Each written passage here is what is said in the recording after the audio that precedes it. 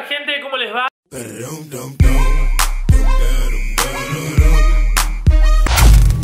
Epicardo del último video, ¿no? Arrancando el auto, todo. Bueno, les dije que en el próximo video iba a ir a buscar el múltiple para ya ponerlo, probar el radiador, que el auto funcione todo bien y, y nada, después poder salir a probarlo. Así que falta todavía esa etapa, o sea, arrancó. Ahora hay que ver que todo esté funcionando correctamente.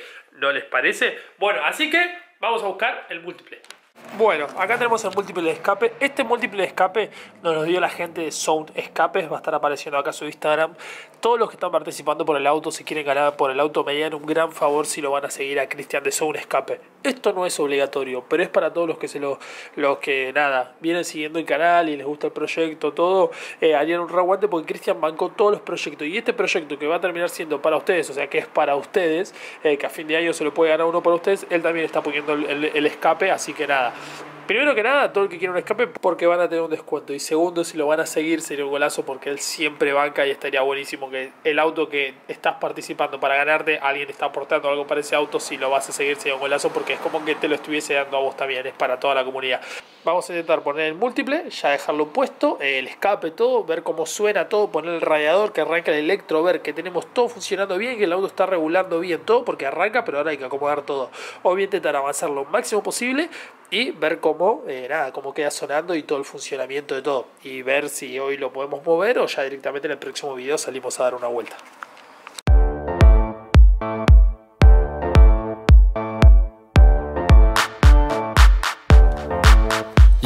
Yo, microphone check, make it a microphone check. Give it a microphone, I make the make it a microphone dead. Don't step to me, newbie, I could truly be moody. I could have played the fucking Grinch in the movies. I've been a part time shadow cat, part time. That is not a guy that I would ever want to try to battle rap. Snap, crackle, pop, mind fried to a crisp, make an MC into a wide eyed lunatic.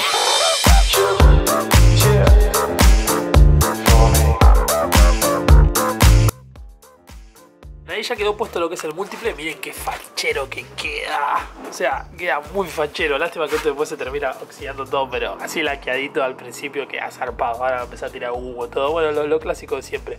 Eh, ya se han puesto los espárragos. Este espárrago entró chueco, así que lo voy a tener que desajustar todo y acomodar para que entre bien.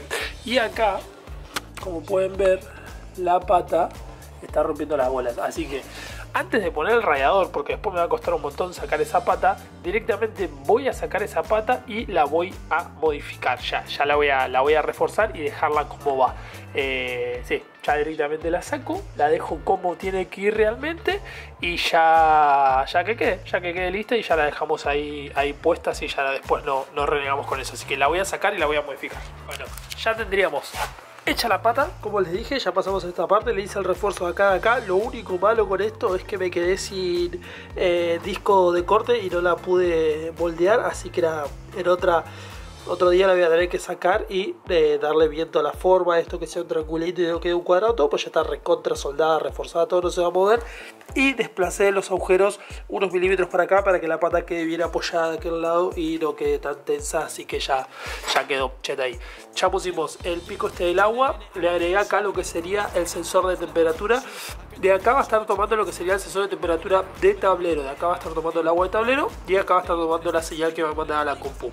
Voy a pasar los dos cables por acá abajo junto con este, lo voy a recubrir todo, lo voy a poner acá, así queda bien prolijito. Que serían estos dos que saqué por acá, ir por acá, y van para allá. Después el resto de cosas, bueno, esto también hay que recubrirlo para que quede prolijito. Todos los cables de acá, este es de la sonda, así que este también tengo que buscar la fichita y ponerlo bien acá de este costado la sonda la tengo que ir a comprar porque si no le pongo una sonda nueva la otra sonda estaba rota y esto va a estar pasadísimo de nafta eh, ahora que acomodé bien el motor eh, la polea tiene más espacio encima miren esto o sea todavía está todavía no está ahí todavía no está acomodada, así que ahora cuando esté acomodada bien contra acá, ya es más, me pasa, me pasa directamente la correa por ahí sin tener que andar eh, sacando la pata de motor todo, así que ya me quedo tranquilo, la voy a poder poner sin problema, al final quedó bastante mejor, está a nivel todo, así que nada, vamos a seguir.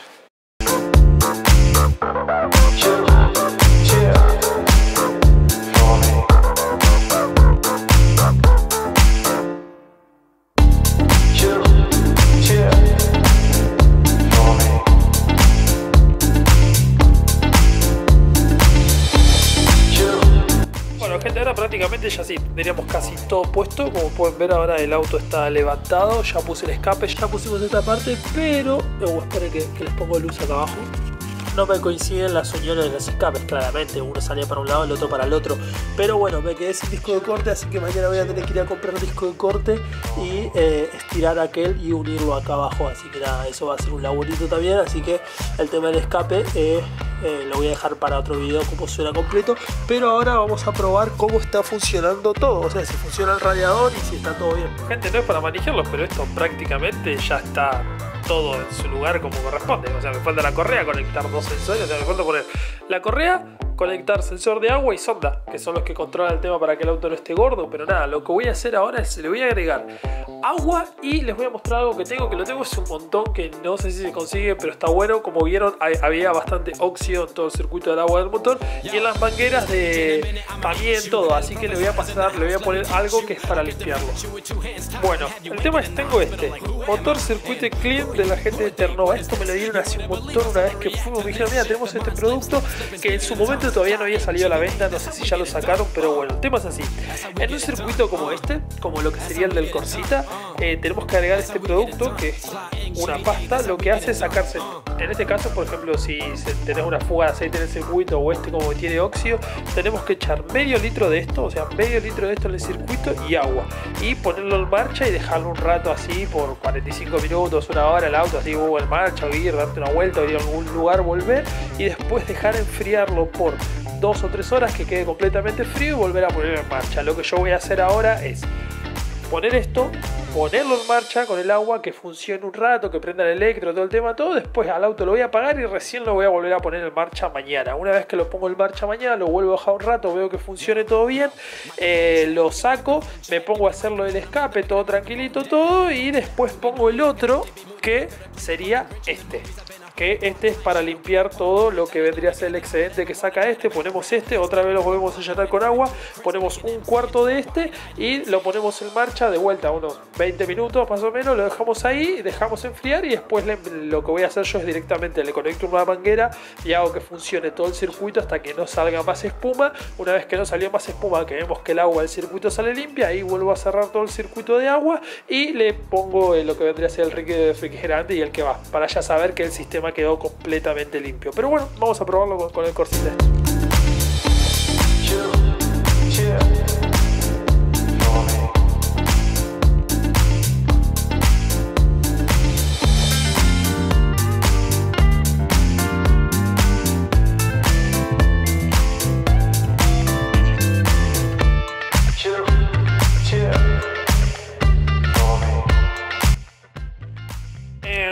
Ya tenemos todo conectado, pusimos agua en el circuito, así que vamos a ponerle marcha, vamos a darle marcha, va a estar un poquito gordo de nafta, eso sí, porque le falta sonda y sensor de temperatura, pero nada, va a poder probar.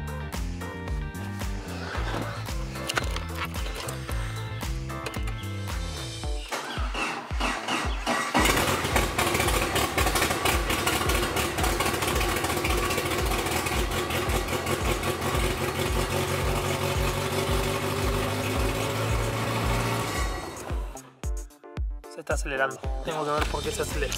Bueno, al siguiente pueden ver que hay un poquito más claridad de la que había ayer. Acá ya tenemos el motor casi terminado, casi casi. Tengo que conseguir una manguerita así para ponerle ahí a esto. Eh, bueno, ver, ayer se me aceleraba un poquito el auto. Tengo que ver si no es por el eh, paso a paso. Que ayer, lamentablemente, lo quise apretar y ahí le corté el buloncito, así que lo voy a tener que sacar. Eh, lo parió. así que nada, nada. tendría que soldar el escape. Quiero soldar el escape para cuando lo pongo en marcha no haga tanto quilombo con el escape libre. Así que para ir avanzando rápido, lo que voy a hacer es sacar la medida que necesito de caño, saco el escape y lo soldamos. Así que vamos a darle.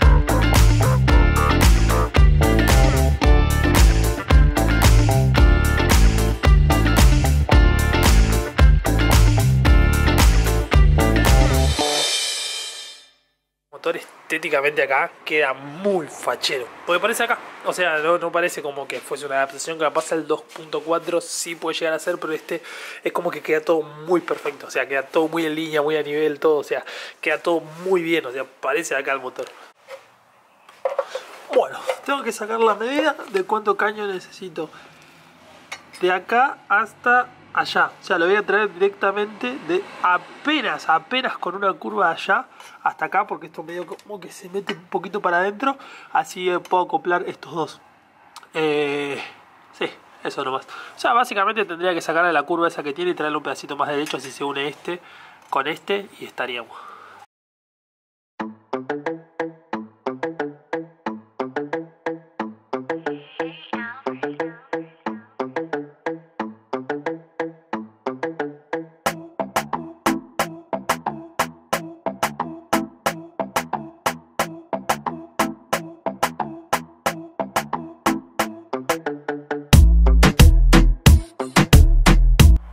Saqué la medida, ahora tendría que pasar a sacar el múltiple, eh, lo desengancho de allá atrás, como pueden ver, ahí tiene la unión aquesa, eh, saco los bulones de allá y lo desengancho y lo saco, cortamos y soldamos y volvemos a agregar y ya tendríamos puesto el escape.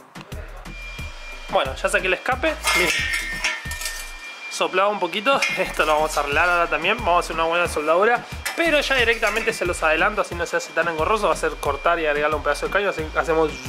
Bueno, ahí ya está terminado, no es la mejor soldadura del mundo ni la perfección, pero tiene todo doble costura a la vuelta para que no sople nada y arregle este que, que soplaba, le eché los parchecitos y buscando eh, entre mi quilombo de cosas encontré una brida nueva, así que golazo, te voy a usar para atrás, que atrás no tenía brida, o sea tenía un sellador, así que ponemos esta atrás, la acá adelante ya está puesta, así que ponemos esto y nada, esperemos, no creo que sople porque la verdad que soplaba solamente por ahí y allá le hice doble costura a todo, le agregué un pedazo de caño más ancho, o sea lo soldé por dentro, le agregué el otro y lo soldé por fuera para que no sople nada, así que no creo que tenga problema.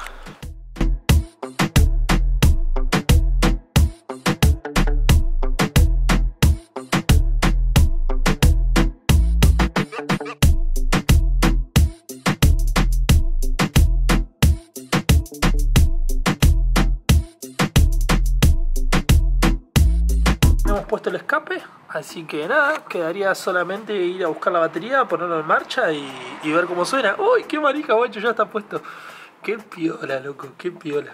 Bueno, ahora la parte divertida. Eh, darle marcha, ver que todo esté funcionando bien, eh, controlar eh, qué es lo que está chupando aire, que se está acelerando un poquito y después ya quedaría, no, prácticamente ya no quedaría mucho, sino verlo de la selectora, poner los palieres, armar el tren delantero y, y ya estaríamos. Así que vamos a seguir avanzando, vamos a darle marcha a ver cómo suena.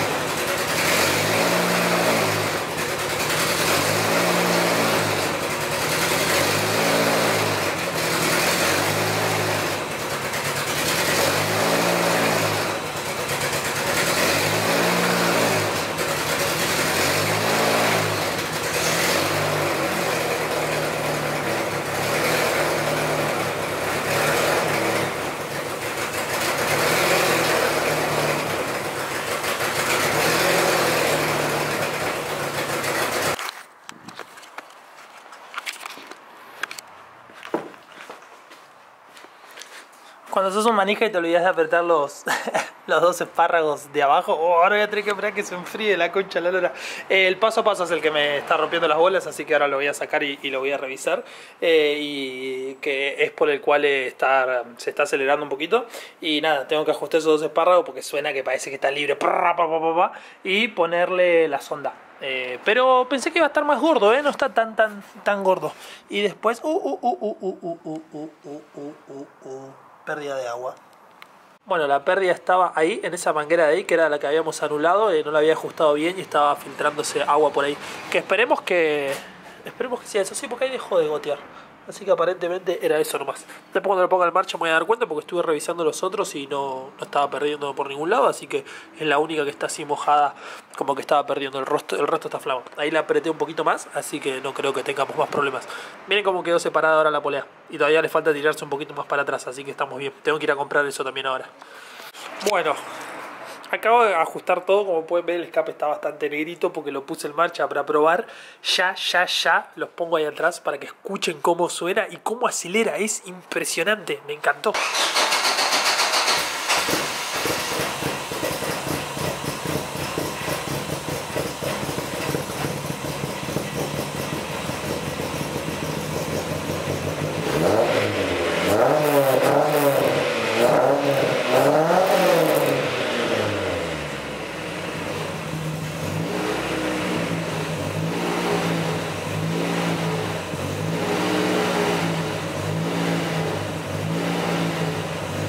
Bueno, así está sonando en este momento. Tapamos el paso a paso y queda regulando perfecto, pero perfecto queda regulando. Tengo, estoy teniendo un problemita en el paso a paso que eso ahora lo soluciono, pero... No, no, uy, ¿vieron eso? Ja, un pedacito de pintura así.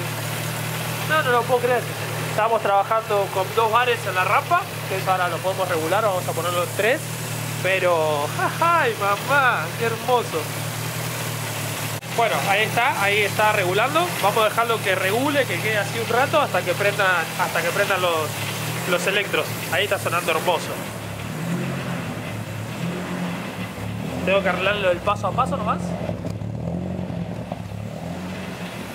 Pero bueno, lo que suceda primero, o hasta que se quede sin batería porque no tiene conectado el alternador, hasta que se quede sin nafta o hasta que... eh, nada, ¿ven? Eso lo hace por el paso a paso, pero eso ahora se lo arreglamos y lo solucionamos. Ahí está funcionando la temperatura, todo, venimos bien, venimos bien. Perfecto, pero o sea, está perfecto.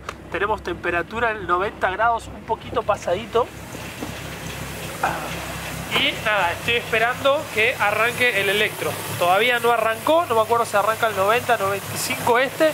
Está conectado el bulbo, está conectado todo. Ah, se salió el tachito, ok. Ahí está.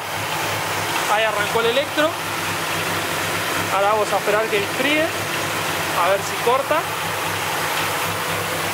No lo está regulando, pero, pero un señor es, un señorito. Ahí cortó el electro, perfecto. Vamos a dejar que arranque de vuelta.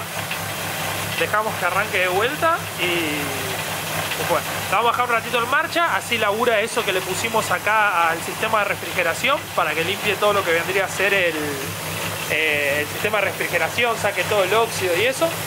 Voy a ir a comprar la correa, así ya le pongo la correa, chequeo que cargue el alternador, la sonda. Uh, está perdiendo una banda ahí de agua. Ah, está perdiendo toda el agua. Ok, perfecto. ¿Qué carajo pasó acá? Bueno, claramente tenemos algo mal que, que no está bien, ¿no? la ya de la lora. Es de atrás igual, la puta madre. Ya acabo de ver dónde es. Es justo en el cañito. Es en el cañito de agua que le pusimos ahí, atrás. El cañito de agua que agregamos. Mal ahí. Eh, nada, ahora lo voy a revisar. No sé si está, está perdiendo del cañito. Eso es lo raro. Del cañito está perdiendo. Así que nada, vamos a hacer, capaz no selló bien y hizo presión el agua y se, se, se movió, se zafó. Así que ahora vamos a dejar que se enfríe y, y bueno, nada, ahora voy a poner un tacho ahí abajo. Bueno, venía saliendo todo muy, muy, muy bien. Algo mal con algo teníamos que renegar. Bueno, no pasa nada. Eh, ahora vamos a dejar que se enfríe, lo saco a ver si es el cañito que quedó mal puesto o qué onda. Eh, y ya me voy a comprar todos los repuestos. Es más, mientras se enfría me voy a ir a buscar todos los repuestos, así vengo y controlo eso. Bueno, gente, ya fui. eh, tengo la sonda. Esta es la sonda que ahora la vamos a poner. Y eh, me dieron este cañito para lo que vendría a ser el del agua que vaya atrás. Porque el que yo tenía era este otro. ¿Ven? Que prácticamente, o sea, es lo mismo, pero este viene de esta forma y acá es más ancho. Me dijo, no, ponele este, que este después cuando lo clavas va mejor, qué sé yo, no se zafa. Y bueno, me terminó dando este y bueno, traje el otro. Así que tengo los dos ahí, que ahora lo voy a poner. Y compré los repuestos para la selectora, que bueno, esto es para ponerle ahora a la selectora, para que entren bien los cambios y no renegar. Y tengo la fichita del bulbo de temperatura, que esa se la vamos a poner ahora, vamos a poner eso ahí y ya se la vamos a poner. Ya poniéndole todo esto ya terminaríamos, así que bueno, paso a conectar todo de vuelta. Estaba renegando con esto, me fui a dos casas de repuesto, no podía conseguir la pieza esta de lastra, el cañito este, así que me lo fabriqué, fue. Bueno, a ver si les puedo mostrar, ahí lo llegan a ver, ahí se ve el cañito. Eh, ahí está, ahí se llega a ver, ya lo pude meter, lo clavé, pero entró reclavado. Tuve, tuve que sacar el burro que está acá para poder tener espacio para pegarle. Pero ahí está, ya entró clavado, así que no creo que vuelva a perder ese cañito. Era lo único que teníamos problema. ¡Oh, mira! ¿Ven eso allá arriba? Ah, bien ahí que lo vi. Hay una un bulón suelto de la... No sé si lo llegan a ver. Ahora de acá se puede ver. Ahí. ¿Lo ven? Está flojo, así que lo voy a ajustar. No me había dado cuenta. Me estoy quedando sin luz, pero ahí ya. Estos cables los puse así de prueba, que son el del sensor de temperatura, y ya tengo conectada la sonda, que eran los dos sensores que me estaban faltando, sonda y temperatura. Ya con eso, el auto, bueno, el de aire ya está conectado, todo, están todos los sensores puestos, así que ahora le vuelvo a poner agua, lo tendría que poner en marcha y tendría que regular lo más prolijito posible y quemar la menos cantidad de nafta posible porque ya en sí la computadora está tomando lectura todo después quedaría más bien después poner todas las cosas para que pueda el auto generar tracción y ya estaríamos para salir a dar una vuelta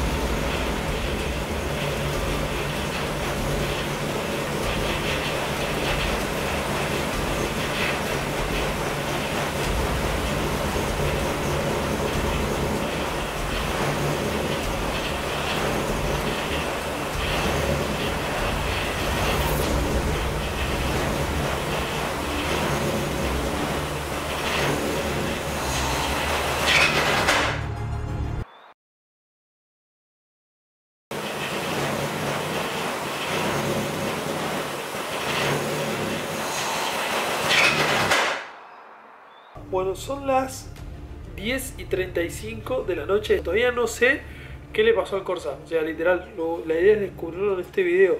Es que... No lo sé, literal. O sea, porque prácticamente el motor, o sea, presión de aceite tenía. Eh, se escuchaba todavía, no había ningún ruido raro. En el video se empieza a escuchar que yo no, no lo percibo. Parado al motor no lo percibo, lo percibo después en cámara. Y digo, ¿qué es ese ruido? Y la verdad que ya eran tipo 6 de la tarde, intenté girar el motor, el motor está clavadísimo, hasta este momento el motor está clavado. Eh, y, no, no, no, son las 10 y media de la noche. Y no es como en el otro taller, que yo en el otro taller me quedaba toda la noche y listo, encontraba el problema, desarmaba y me fijaba y fue. Acá siento que hago tin, un ruido y se escuchó en toda la cueva, porque claro, todavía está todo abierto y, hace frío encima para la buena noche, así que Hoy no duermo, pero bueno, pasemos a mañana a la mañana a ver qué, fue lo que pasó ahí en el, en el Corsa, porque estoy totalmente desconcertado, porque estaba andando todo bien, le había puesto los sensores, arrancó perfecto, arrancó bien del afta, no se lo sentía gordo, nada, quedó regulando bien, ya estaba regulando bien antes, así que vamos a ver qué pasó. Bueno, día siguiente, después de eh, una noche prácticamente eh, sin dormir. Eh, me quedé pensando toda la noche que pudo haber sido lo que se clavó. Por este lado le había sacado la tapa de la distribución para controlar acá, estaba todo bien. Y la leva giraba, ¿sí? O sea, la leva gira, le saqué la distribución, probé la leva y la leva giraba. Claramente el motor no, el motor seguía clavado, sigue clavado. Eh, después me vine acá para el lado de la caja. Yo le había pisado el embrague y había probado si el motor giraba y no, no giraba. Pero ¿qué pasó? Eh, le saqué el selector, me puse a revisar la caja y agarré con un imán y me puse a ver si encontraba y me puse a ver si encontraba metal o algo en el fondo de la caja. Cuando lo saco, no, no había absolutamente nada. Había sacado una pequeña esquirla, pero digo una pequeña esquirla no, no sé, pero bueno, ya era un indicio. Pero bueno, quiero tratar de meter los cambios desde acá y directamente no entran. O sea, están como trabados. Y digo, bueno, eso es un indicio. la caja está trabada aparentemente. Y digo, ¿y si no le está dando el tiraje del embrague? Y como tenía esta horquillita acá, estaba rota, agarré, la corté y la tiré más hacia arriba como para que una vez que pises el pedal de embrague, el ruleman empuje del todo a lo que vendría a ser eh, el embrague, ¿no? Que, que lo lleve hasta el fondo, hasta el ruleman y que accione bien el embrague. Y dije, bueno, vamos a probar. Venimos al auto, le damos contacto, le queremos dar marcha y el motor está terriblemente clavado, o sea, no gira nada. Pero si nosotros pisamos el pedal del embrague a fondo, pisamos el pedal del embrague a fondo, el motor gira perfecto. Loco, es la caja, la puta madre. Bueno, vamos a terminar el video contentos. Lo pongo en marcha, lo aceleramos, ven cómo suena.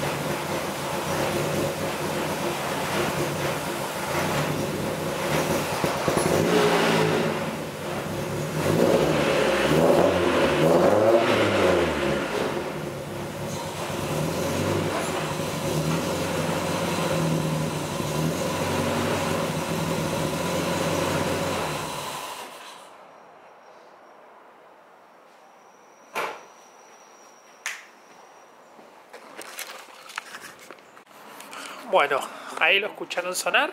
Así que ahora, básicamente, con lo que vendría a ser el tema de la caja, tenemos dos opciones. Va. La caja que se clavó.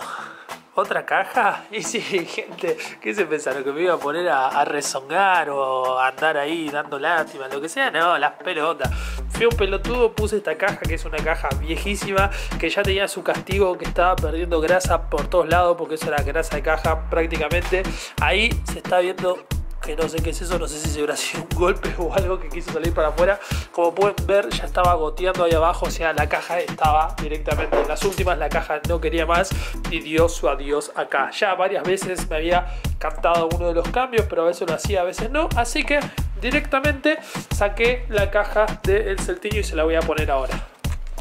Yo sé, sacar la caja del centeño es como una lástima, está pintadita todo para el auto, todo. Tengo más color de esto, sí tengo. Lo bueno es que, bueno, esta ya está pintada y es selectora a cable, ¿entienden? Y tengo todo para ponerlo. La gente de Copark, que son sponsor obviamente principales de este proyecto, por eso es obligación para seguirlos, y me dijeron, no te preocupes, nosotros tenemos una caja. Eh, vení y buscala, me dijo, venite y buscala. Y le dije, vamos a hacer una cosa, le digo, le voy a poner la caja que es del Celta, le pongo la caja que es del Celtillo, así ya queda andando. La voy a ir a buscar a la caja, pero la voy a ir a buscar con el Corsa, porque hay que poner las calcos y todo el tema del sponsoreo de Ecopark. Así que vamos a ir, así los chicos ven el auto, lo prueban todo y me traigo la caja y esa me la traigo para el Celta. Vengo, la pinto y se la vuelvo a poner a aquel y ya está, listo, solucionado. No, no pienso renegar, o sea, esto literal me costó sacar las dos cajas 20 minutos, así que tampoco es algo tan grave. Voy, eh, vamos a hacer una cosa, así no reño más, tengo que sacar la selectora de aquella que ya prácticamente queda al pedo, que ahora la voy a sacar, así que hago así, blue, y ya pasamos directamente a poner la caja. Eh, lo único voy a tener que sacar la pata de ahí atrás y ver cómo desenganchar toda la selectora porque está todavía enganchada para poder pasar la otra que es, que es sacable.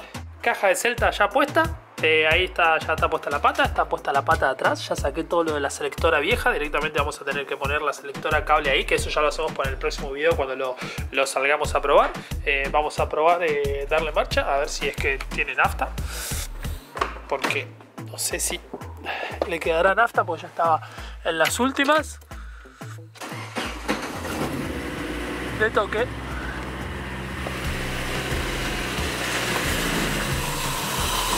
No te apagues, no te apagues. No, ya está las últimas, se está quedando sin, sin nafta porque no le queda, pero ya está. Ya está. Ya está funcionando.